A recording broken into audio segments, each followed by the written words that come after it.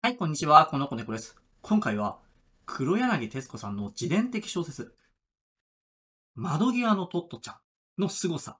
について語っていきたいと思います。ネタバレを含みます。ネタバレなしの紹介動画も上げています。説明欄にリンクを貼っておりますので、未読の方はそちらをご覧ください。さて、窓際のトットちゃん。まあ、トットちゃんこと黒柳徹子さんが自身が小学生だった頃に通っていた友江学園という私立の小学校の時のエピソードを記した本なんですが、まあ、すごい。いや、何がね、すごいかってこの本。まあ、黒柳徹子さんが子供の気持ちと大人の気持ち、まあ、それらを完全に合わせ持っているのが伝わってきて、まあ、それによりね、この本が子供と大人の橋渡しとしての役割を果たしている。まあ、というところだと思うんですね。まあ、すなわち、大人が読めば子供の気持ちがわかり、子供が読めば大人の気持ちがわかる。まあ、あらゆる年齢層の読者にとって、すごく有意義な本になっているんです。まあ、黒柳徹子さんが子供の気持ちと大人の気持ちを合わせ持っている。まあ、それを象徴する言葉が本の中にも随所に見られる、トットちゃんにはまだわからなかった。という言葉だと思います。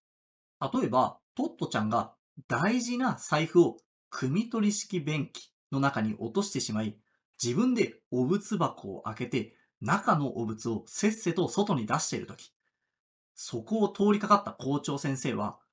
何してんだい？と聞き、トットちゃんが財布を探していると言うと、そうかい。終わったらみんな戻しとけよ。とだけ言い、その場を後にしたんです。普通の大人なら、なんてことをしてるんだとか、危ないからやめなさいというところを校長先生はそれだけ言った。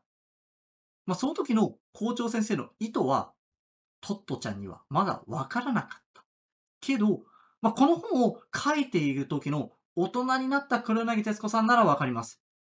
まあ、校長先生がトットちゃんのことをちゃんとした人格を持った人間として扱ってくれた。だから自分のしたことに責任さえ持つのであれば怒らず、トットちゃんのやることを信頼してくれたのだ。と。まあ、事実、まあ、結局トットちゃんは財布を見つけることはできませんでしたが、汚物を全部組み出したことで、やれることはやったという満足感を得ることができたのです。そして先生に言われた通り、汚物はちゃんと全部中に戻したのでした。まあ、本書の中にはこのように当時のトットちゃんには分からなかったけど、あの時の大人たちにはこういう意図があったんだ、と黒柳徹子さんが思い返すシーンが多々あるんですね。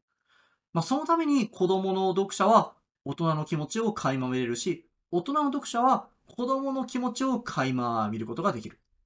いや、ほんとね、この役割は黒柳徹子さんだからこそできた。黒柳徹子さんにしかできないことだと思いました。さて、大人の目線から読んで思うのは、子供は大人が思う以上にたくさんのことを考えている。いや、それも合理的に考えている。ということ。トットちゃんが飼っていたロッキーという名の犬が亡くなった時、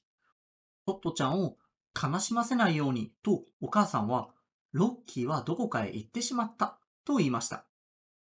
でもトットちゃんはロッキーが死んだことに気づいていました。でもそれと同時にお母さんは自分を悲しませないためにそう言ってくれているんだということも気づいていました。トットちゃんは